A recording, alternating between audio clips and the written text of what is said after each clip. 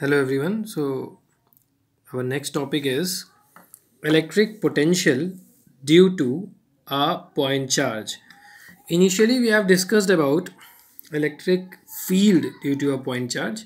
Now we have to discuss electric potential due to a point charge. As per the definition of electric potential, the electric potential at any point is equal to the work done in carrying a unit positive charge from infinity to that point.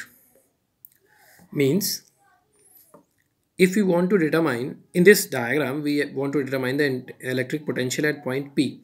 So to determine the electric potential at point p we have to carry a unit positive charge from infinity to this point p.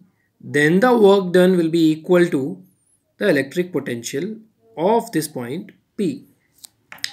Suppose we are carrying any other charge plus Q naught, then the electric potential at this point P will be equal to the ratio of work done and this charge plus Q naught. So in our derivation, we are taking a, a positive charge plus Q which is kept at a point O.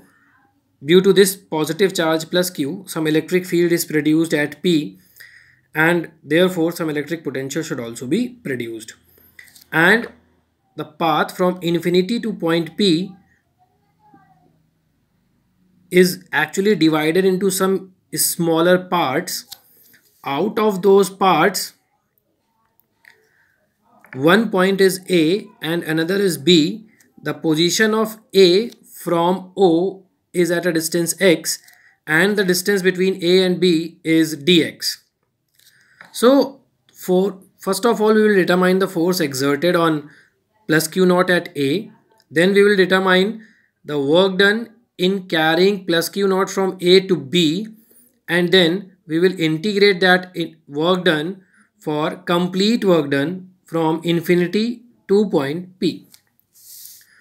Similarly, we will start force exerted on plus q naught at A means at this point A according to Coulomb's law is F is equal to 1 upon 4 pi epsilon naught Q Q naught upon x square as the distance between O to A is x.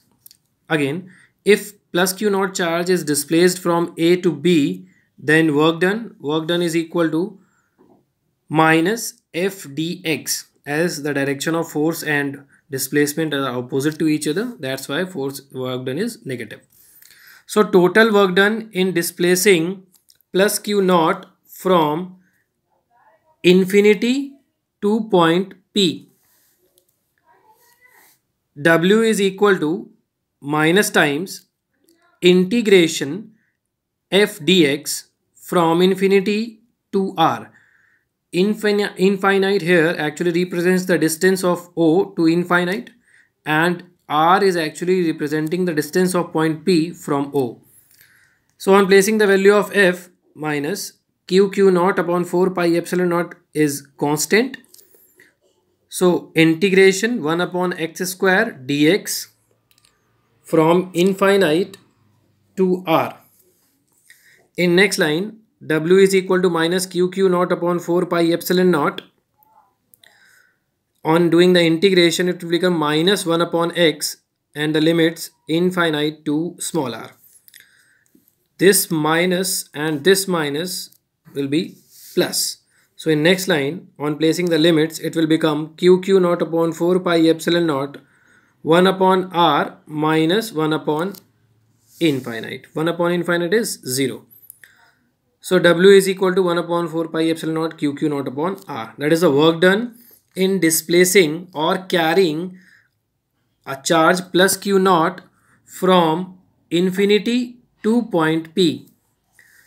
So electric potential at point P again the same formula W upon Q naught on placing the value of W 1 upon 4 pi epsilon naught Q Q naught upon R into 1 upon Q naught from this expression Q Q naught Q Q naught cancel so V is equal to 1 upon 4 pi epsilon naught Q upon R.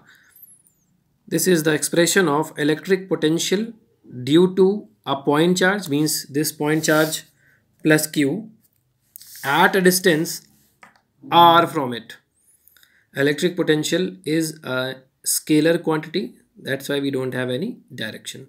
That is all for this video. Thank you